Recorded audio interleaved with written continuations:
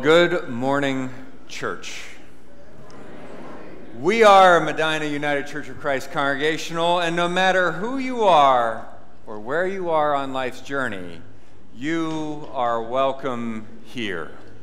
Welcome to this final Sunday in June. It pains me to say that. Where did it go? I love summers in Ohio, but it's, it's like shrinky dink summer. Like it heats up and it gets smaller. I don't like it. Like the 500 days of January that we get and the three days of June. Something's up with this. Time is weird, but you are here. And it is now, no matter if you are here live, live stream, on the podcast, anywhere you are in space and time. You are welcome. You are right where you need to be. May that give you some modicum of peace in a turbulent time. Maybe we start with a little peace to ourselves over our heart where we feel the beating, unforced rhythms of our life. Despite our opinion on things, this just keeps going. And the breath, deepen that a little bit more. In and out. Maybe you found you've been clenching your breath all week, and this is the first real deep breath you've taken for a while. So, another deep breath in, maybe close your eyes and out. And last time, the deepest one you've taken all week, in out with a sigh. Our first prayer of Ruach, first prayer together. Let your chin go high, your eyes open. Raise that symbol of peace to your neighbor and say, Hey, neighbor, glad you're here. Peace be with you. Let us rise and belt out our first hymn together.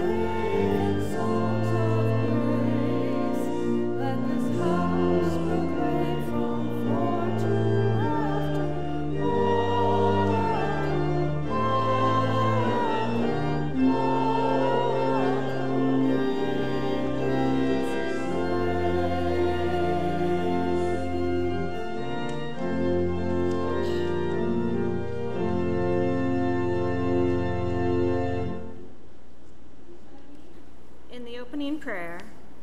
Holy God, giver of grace, you understand us. We want big, loud signs. You, You speak indirectly, A still small voice.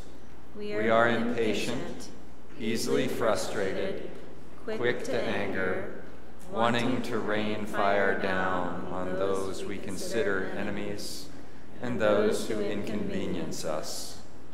We give thanks that you are patient, slow to anger, and understanding. You forgive us and remember our sin no more. Help us become more like you. Gift us with the mind of Christ. May your Spirit intercede for us and guide us along life's path. This we pray in your many holy names. Amen.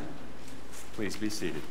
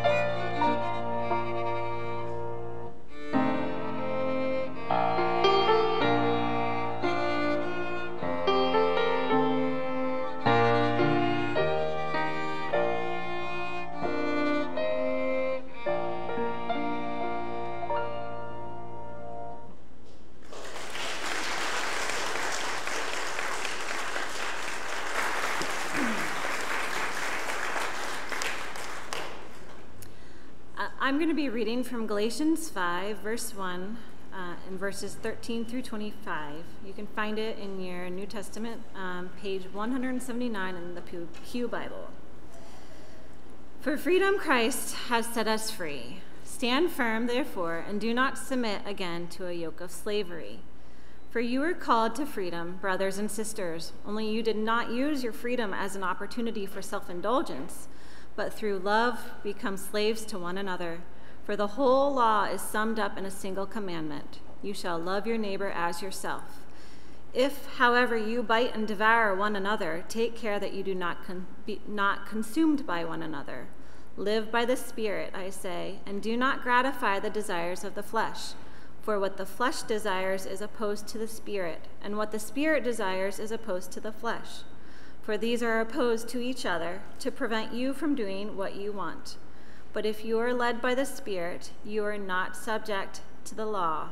Now the works of the flesh are obvious fornication, impurity, licentiousness, idolatry, sorcery, enmities, strife, jealousy, anger, quarrels, dissensions, factions, envy, drunkenness carousing, and things like these. I am warning you, as I warned you before, those who do such things will not inherit the kingdom of God. By contrast, the fruit of the, of the Spirit is love, joy, peace, patience, kindness, generosity, faithfulness, gentleness, and self control. There is no law against such things, and those who belong to Christ Jesus have crucified the flesh with its passions and desires. If we live by the Spirit, let us also be guided by the Spirit. And from Luke chapter 9, verses 51 through 62, um, found in your New Testament, page 66 in your Pew Bible. When the days drew near for him to be taken up, he set his face to go to Jerusalem. And he sent messengers ahead of him. On their way, they entered a village of the Samaritans to make ready for him. But they did not receive him, because his face was set toward Jerusalem. When his disciples, James and John, saw it, they said, Lord, do you want us to command fire to come down from heaven and consume them? But he turned and rebuked them. Then they went on to another village. As they were going along the road, someone said to him, I will follow you wherever you go. And Jesus said to him, Foxes have holes, and birds of the air have nests, but the Son of Man has nowhere to lay his head. To another he said, Follow me. And he said, Lord, first let me go and bury my father. But Jesus said to him, Let the dead bury their own dead. But as for you, go and proclaim the kingdom of God. Another said, I will follow you, Lord, but let me first say farewell to those at my home. Jesus said to him, No one who puts a hand to the plow and looks back is fit for the kingdom of God.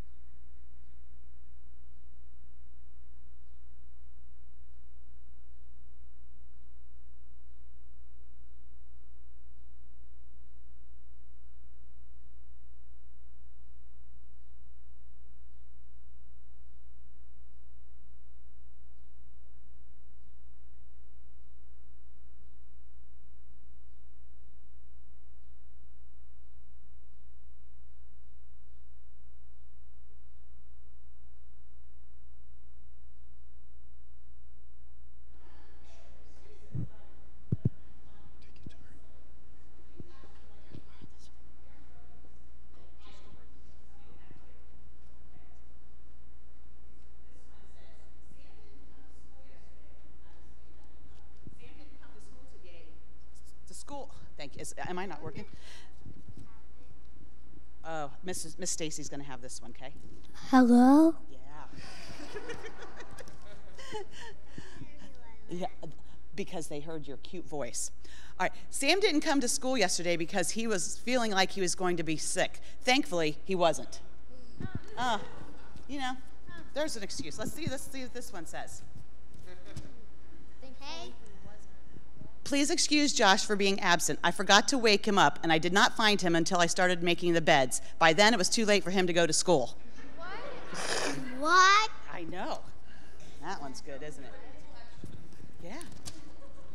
All right, here's, here's another one. Please excuse Jillian's absence from school. It was take your daughter to work day, and since I don't have a job, I made her stay home and do housework. Oh, That's a great one, isn't it? Okay, and this one, this one's pretty funny. Okay, here, here, sit down right beside me, Brendan. Okay, ready? Please excuse Olivia for missing school yesterday. We forgot to get the Sunday paper off the porch, and when we found it on Monday, we thought it was Sunday. You think that really happened? Here, say what? Nope, nope, sit down right here by me. Sit right down here by me. So, as a principal or a teacher getting those, I probably would laugh out loud with that, huh? So, we all make excuses for things sometimes, right? And sometimes they're silly, and sometimes they're legitimate. Here, have a seat right beside me, buddy. Have a seat right here, okay? Have a seat right here. So, today's story, if you were listening, Jesus was asking some people to follow him, and they came up with some some excuses. The one guy said, "Oh, I need to go bury my father first. Now, I don't know, maybe his father actually did pass away, but we don't know that for sure, right? Here, have a seat. And you just said, nope, nope, nope, Miss Stacy's gonna do it right now, okay? Nope, nope, Miss Stacy's gonna do it. Yeah. And then another guy said, I need to go say goodbye to my family first. And Jesus wanted them to come now. He's like, I don't have time for that. I need you to come follow me now. And that's what Jesus wants us to do, not to make excuses, not to say, you know what, I can't do that right now. I just have to do this. Jesus wants us to follow him now and do what we can to treat others with kindness and love. Oh. Yeah, I know. And love everybody and treat everybody the way that we want to be treated. And he wants us to do that now and not wait. We're going to go downstairs and we're going to talk about fruits of the Spirit, which was also in our scripture today. And today is kindness. We're going to talk about spreading kindness, okay? Because we need lots of that, right? Fruit. All right, let's say a prayer and then we're going to go downstairs. Nope, nope, nope, nope, nope. Sit down, buddy. Nope, nope, nope, nope, nope. Sit, just, just a second, just a second, okay? Just a second. All right. Dear God, help us to follow Jesus now and to not make excuses and to spread his love and his kindness everywhere. In your name we pray. Amen. Now let's say the prayer that Jesus taught all of us. Our Father, who art in heaven, hallowed be thy name. Thy kingdom come, thy will be done, on earth as it is in heaven. Give us this day our daily bread, and forgive us our debts, as we forgive our debtors. And lead us not into temptation, but deliver us from evil. For thine is the kingdom, and the power, and the glory forever. Amen. All right, let's go downstairs.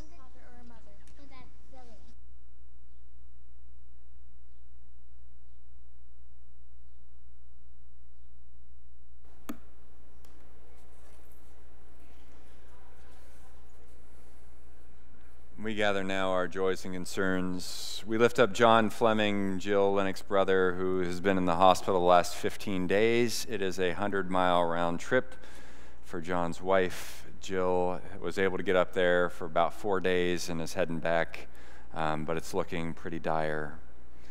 We lift up uh, Jen Cockrell's mom and sister, continue with health issues, tests coming later this week. We lift up our own Reverend Harry Buck. Hip replacement was on the 20th. He is ambulating decently and is going through rehab, so we hope that that speeds up and eases pain. We lift up Kason Chandler, recently diagnosed with lymphoma. This is the Benson's eight year old grandson. We lift up. great grandson.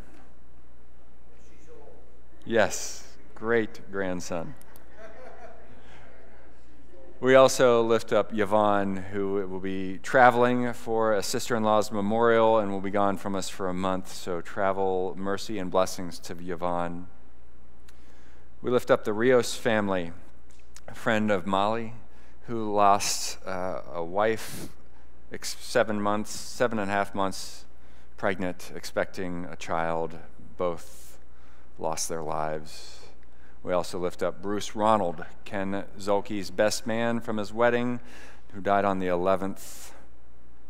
We also lift up Greg Schaefer's friend, who died on Good Friday, and gifted him a Bible and is still speaking uh, through that.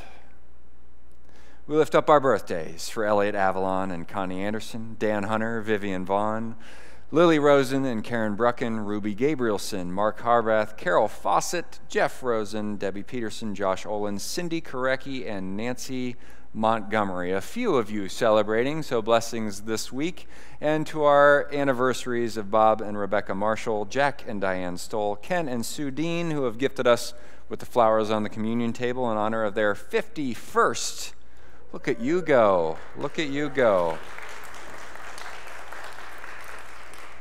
Stu and Diana Root, Earl and Edith Olson, Jay and Lisa Bowen, Christopher and Beth Burdick, Brad and Mindy Alt, all celebrating. The Special Olympics were this week, and Megan and Josh Fry both won single, both won gold in singles and doubles in their events. The rain continues for the Dohertys. We want to thank our uh, Delts and Stacy and Hobby Horse who provided a great Compassion Camp VBS two weeks ago. And Hobby Horse had their trike-a-thon of kids driving around. So those lines that are in the, those are chalk. They'll, they'll wash out in the rain. No worries about that, friends. But that was from the Hobby Horse Trike-a-thon. We also want to lift up our after two years of just kind of sitting back, our caring team is just clicking on all cylinders. Literally, thanks to the great race coming here, about 300 folk through here drivers, navigators, car enthusiasts, all being fed within these walls where we have so many great stories to share and to tell. Uh, it was just a great day, a tiring day, a long day, uh, but a wonderful day for all of Medina for the great race. So, if you have anything to add, please see me after service. We'll get it on. We pray for all, no matter where you are, how you're feeling, what's going on in your life or the nation or the world. We are here for you and we'll lift it up to God. Let us join one another in prayer. Holy One, uh, lest we get the wrong idea, Paul has listed a couple lists, and, and some of us will focus on the what not to do in the oppression and the judgment side. While Paul was actually wanting us to focus on the fruits of the Spirit. Because against those things there is no law. Nothing can hold us back from being loving and gentle and kind and all the other things. We are liberated no matter what we face when we act those things out. Help us, guide us, be with us as we try to produce more of the fruits of the Spirit wherever we are, wherever we find ourselves. For our hearts are restless until they rest in you. May we find a home for you and in you, and in thus doing, find our home to be everywhere your Spirit takes us. We pray this in your many holy names. Amen. So the foxes have holes. The birds of the air have their nests, but the Son of Man has no place to lay his head.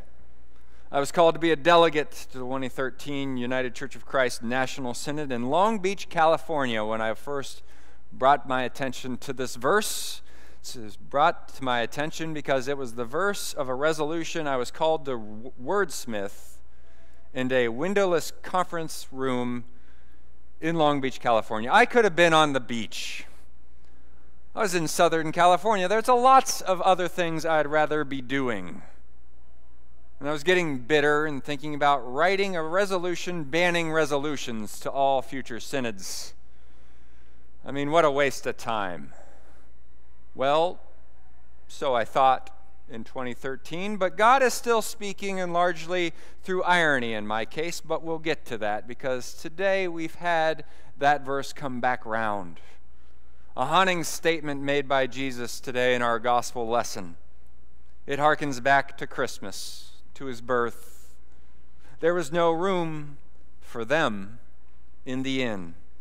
Maybe there was vacancy, but due to the haggard look of the poor car- carpenter and his fiancee, or it was their unmarried status, or we don't know why, there was room, but just not for them in the inn, much like the neon vacancy signs shining out to black travelers that weren't in their green book in the Jim Crow days in the South, and they had to keep traveling, for there was vacancy, but not for them in the inn. Or simply, maybe there just was no room, no space. Housing was at full capacity. Foxes have the holes, birds of the air the nest, but the Son of the Man has no place to lay his head. When God comes to us in the flesh, we do not include, we keep God at arm's length. God comes to us not wearing a crown or wrapped in a flag or any other statement of power. The saying, cleanliness is next to godliness, is not true. You can walk through pristine halls of power and not find God.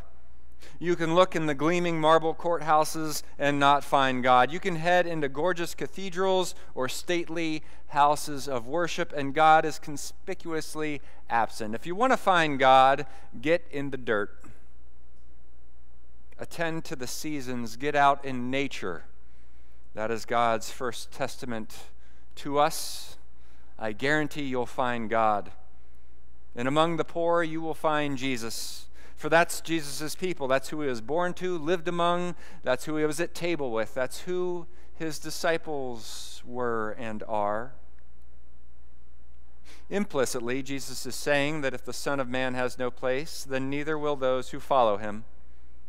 This means the followers of Christ must recognize dehuman, dehumanizing systems when they see them and call them out and not make their abode there. To be as Christ, we must comfort the afflicted and afflict the comfortable. To overturn the tables that profit and separate people from God and from their neighbor, that turn houses of prayers into den of thieves and robbers and rock shows. And we can do this, friends, by starting hyper local. The resolution I was called to work on back in 2013 was a resolution of witness for the need for affordable housing in the United States of America. And my friends, we are in an affordable housing crisis. It is everywhere and in every state. It is not a red blue thing, for both parties lack this. California ranks number one, Texas number two in lack of affordable housing nationwide. From 2010 to 2020, there were fewer homes built in the U.S. than any previous decade. That might not be true for Medina County. I know if we have a field, there's a house going up in it. But for the rest of the nation, Similarly, the types of homes being built here in Medina are not the smaller entry level starter homes. In the 1980s, starter homes were around 40% of all construction, and recently that number is under 7%. This has a major impact in our communities.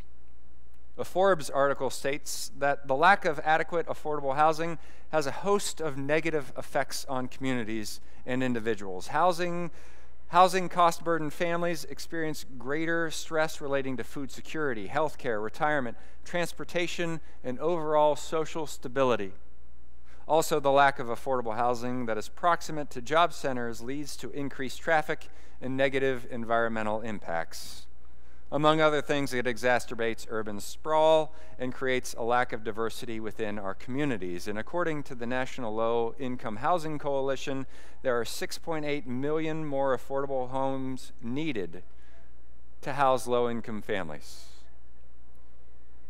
Top it off, we have 580,000 people who are homeless, and 70% of low income families pay half their income on rent. Half, when that number should be around 20%. Foxes have holes. Birds of the air have their nests, but the Son of Man, like so many today, have no place to lay his head. We have placed profit over people. We have reduced our neighbors to commodities we can press for their wealth. In a reductionist view, people are reduced to consumers, and our job is to get them to consume what we produce. And if we get them to consume, we shake out their pockets to every last red cent. And that way, we win the game. But we are not playing a game, we are living life. And playing that game is, doesn't sound like a very neighborly thing or what Jesus was going for at all. It is that view that enslaves people. That's the, not the way of Christ. That's not the way that Paul recommends to us in the Galatians text. For it is for freedom that Christ has set us free. Stand firm then and do not let yourselves be burdened again by the yoke of slavery. You, my brothers and sisters, were called to be free, but do not use your freedom to indulge the flesh. Rather, serve one another humbly in love. And there are many ways to indulge the flesh through our greed and in our need for comfort and security over and against the needs of our neighbors. It can be very, very subtle. I mean, we need comfort and security, absolutely. So many of us might be nodding and saying, Yes, Pastor, we need affordable housing. But how about next door? Oh, oh, no, not next, not next door. I like my community as is. What if they get here? We can't, we can't put them here. Who are they anyway? They are our neighbors. God lives with them, and God's image is in them. And who are we assuming when we picture affordable housing? Weren't many of us out here needing to begin living somewhere in that really funny, Uh, quirky, that's the word, quirky first apartment we all had that you had to hit the stove a certain way for the burner to light up? I don't know. Didn't some of us start there? Let's assume that they are just like us. And we need to house them. So, what is the Christian response? I have two small local suggestions that we can get started on right away that we, the church, are engaging in. The first is Operation Homes. Operation Homes has been in Medina for almost 30 years. Its goal is to provide housing and, house, and education for those who are shelter insecure both personally and financially as a program for those who want to be in it. These individuals are background checked. They are given a social worker. They attend classes and training. They are given resources to help set them up and achieve their goals. Many folks in this program over the past 30 years have largely been mothers with children fleeing domestic violence situations or foster kids who have aged out of the system, all with no place to lay their head. They are given space to stay in churches around town. And for eight days, a church will host these families. For the past two years, they've been held, housed in motels around town. And even though this totally ruined their budget, God somehow provided for these families and for Operation Homes. But this fall, they hope to get back to the circuit of churches. Now, there could be many as one person or one family and maybe up to as many as 10 people at a given time. The churches are called to provide a dinner, a safe place to sleep while folks get training and help find a stable place to live. They come in at 5 p.m., they leave before 7 a.m. The mission team is bringing that program here. That's right, you can clap, that's right. And we have made meals over the summer, and this fall, Council has devoted to say, yes, we are giving this program a one year trial basis, and it is an all hands on deck alert to us all. We're going to need folks to prevail meals, to act as hosts, to sleep here, because what's better? Do you remember the youth group overnights in a just really horrible sleep on an uncomfortable couch, you can sign up for that now too. I may need to work on the script. I don't know if that's going to get anyone. But hey, however you are called, contact Nick North. This is supported by the mission team, by council, by Hobby Horse, who has signed off on this. We will not be in the hobby horse side, we'll be on the church side. Hobby horse is like, yeah, go for it. Our insurance company, I'm just trying to, those who are like, whoa, what about insurance? If you step foot on our property, our insurance covers you. If you sleep overnight here in this church, our insurance covers you. If you fall off a pew and skin your knee and get a rug burn, our church insurance covers you because foxes have holes, birds of the air have nests, but people need homes. And there are many benefits for folks to be in affordable housing. Among other factors like income and education, housing is a component that drastically influences a personal person's physical and mental well-being. Poverty is detrimental to people's options. And poverty is linked to a vast range of health problems, acute and chronic in nature. A healthier population means a healthier community in every sense of the word. There is a belonging one feels. And when you belong, I think that you're less likely to trash your surroundings. You take pride, you pick up litter, you're kinder to your neighbors. There's a security and rootedness when you have the sense that people care about you and your well being, and you, in turn, care about theirs. Yet there are those who are dead to the needs of others. Let the dead bury the dead. A man says to Jesus, I want to follow you, Lord, but I have to say goodbye. I have to do this other thing. I have to follow you, or I'll follow you when my schedule opens up. Let me see this in Google Calendar. Is Tuesday good? No, I got a thing on Tuesday, Jesus. I'm sorry. Jesus is uncompromising and gives no quarter to that thinking in today's passage. The way of the cross has no place for rash promises or misunderstandings of the cost of what it is to be a disciple of Jesus. It's not, well, once I'm middle class, I'll follow you, or when I can, or after the kids' travel sports season is done. Sorry, folks, no one who looks back is fit for the kingdom. That's harsh, uncompromising, and uncomfortable.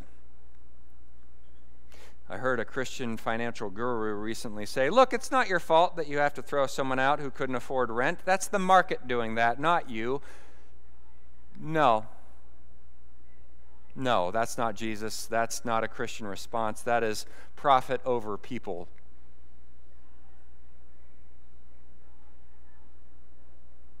If they get here, crime will increase because poor people are inherently criminal. Nice people who say, not in my backyard, don't have the sense to say that, but that's what they mean. And I think of Galatians if you bite and devour each other, watch out, for you will be destroyed by each other.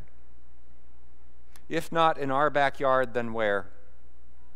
I'm fully convinced that inclusion has never once created a criminal, a mass shooter, or a terrorist. Exclusion does that when you feel isolated, alone, unheard, unloved, uncared for, that's when bad things happen. But focusing on the ties that bind, that's good for communities and for the thriving of individuals. And I believe Operation Homes does that. It gives folks a place to land and some stability while they work to improve themselves and learn the skills they weren't taught or somehow lack. And this work requires all of us. No one is going to do this for us. We, the church, must lead the way of ensuring that our community is filled with the fruits of the Spirit, and it starts within these walls and it echoes and reverberates out from here. So I hope you will prayerfully consider adding your gifts to the gifts of Operation Homes, and if that's not yours, I have another option. It's a little more us upstream, so once we get them through Operation Homes, there's still a lack of affordable housing. Santee Landing was built in Wadsworth, 50 units, two to three bedroom apartments, and it has a waiting list of 300 folks upon opening.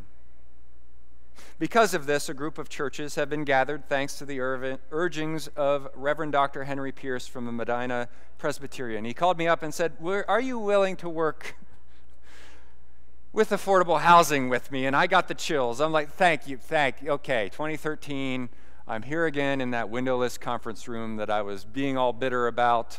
God had a plan back then. And God is still speaking largely through humiliation and irony for me. That was the topic that the resolution I had to work on. And we have gathered with Heartland and Cornerstone and St. Paul's and St. Francis Xavier and Brunswick Reformed and First Baptist and more to form, and get this, the Medina Interfaith Coalition for Affordable Housing. Isn't that fun? That's a good name. It's short, we, are going to shorten it to Micah because it just feels biblical, doesn't it? And the purpose of Micah is to build affordable housing units in our backyards. As Henry called up, he says, Are you ready to be? This is going to be the most miserable experience you've ever done. And I said, Oh boy, sign me up, because people are going to come out of the woodwork and say, No, not here, until it's built and they discover, Oh, I know that neighbor. They attend my children's school. I work with them. They just started here. They just gave me my happy meal. And they're now my neighbor. Until that happens, there will be opposition. So I'm putting you on notice, church. In our backyards. And if you're initially against it, let's talk, let's grab coffee because it's coming. And if you want to help me, I could use a buddy around 1:30 on a Thursday. I could use a planning partner from the congregation. It's strategic work, it's long-term work. There's some wordsmithing. I've been to every meeting and I need your help. Someone to represent our congregation in the future. And if this sounds like your work, I'd love to talk to you. And if Operation Home sounds like your work, there's a sign up right over there on the mission board. Operation Homes and Micah are working for similar things to benefit our community to help build the kingdom of God right here, as on earth as it is in heaven. For when Jesus says, I was a stranger and you welcome me, we'll be like, oh, yeah, that was you? Happy to serve you, Lord. Or when Jesus starts to say, the Son of Man has no place, we're like, whoa, whoa, whoa, hold, slow your roll there, Jesus. Lord, you have a place. You have this place. Thanks be to God. Amen.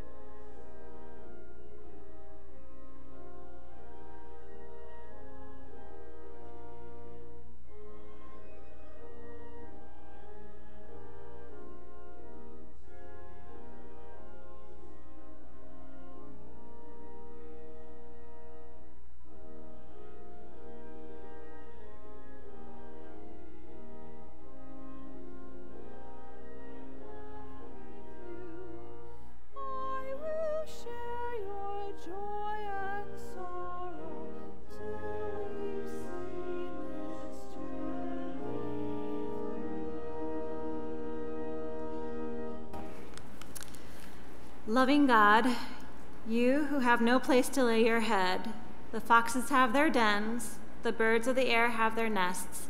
May we offer, may what we offer make a home for you and for our neighbor. We will rise in body or spirit and sing praise to you,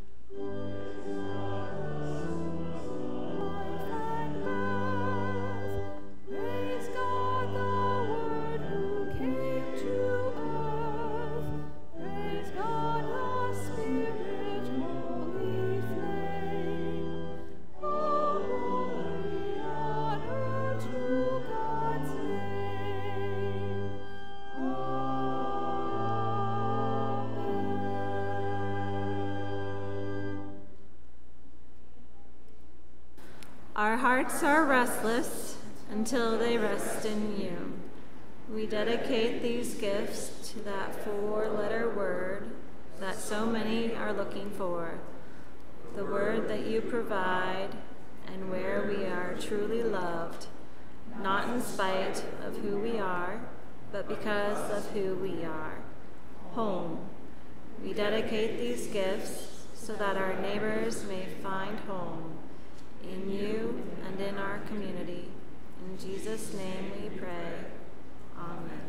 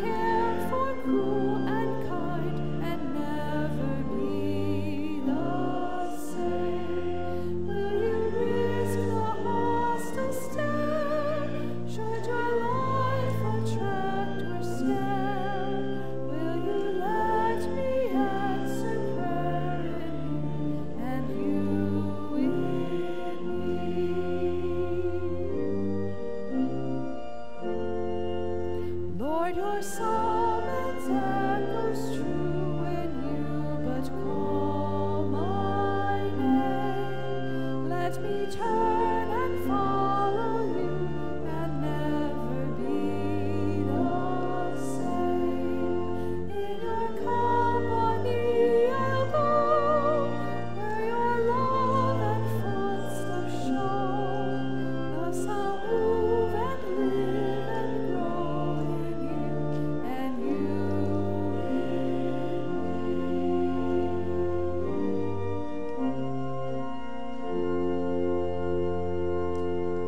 Friends, I'm normally right over here wishing you a great week ahead, but I won't be there again for the second week in the row as I'm going to be setting up my doctoral thesis presentation.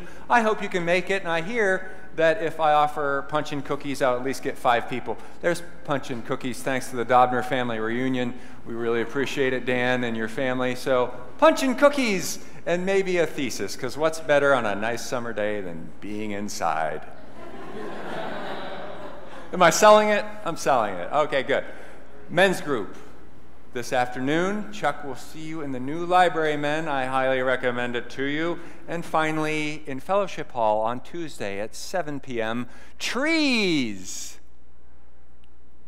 No, a book about trees, and the author from Brunswick, Annette Palmer, will be here talking about her book, Trees God's Hint for Humanity. We hope you'll be there. And if you can't make it, it's summer. We get it. Go forth. Someone will be here for you. And once again, Operation Homes, talk to me. We'll see you in fellowship in a little bit. And if not, please join me in the benediction. May you go out and stand on your mountain in the presence of the Lord. For the Lord is about to pass by. Do not let the wind distract you. We shall hold our focus. Do not be shaken by the earthquake. We shall not fear the fire. But after all this, may we hear the voice of our still speaking God in the sheer silence, a voice that blesses you in your zeal. Having been blessed to be a blessing, go. For this service is ended, and our service now begins. Amen.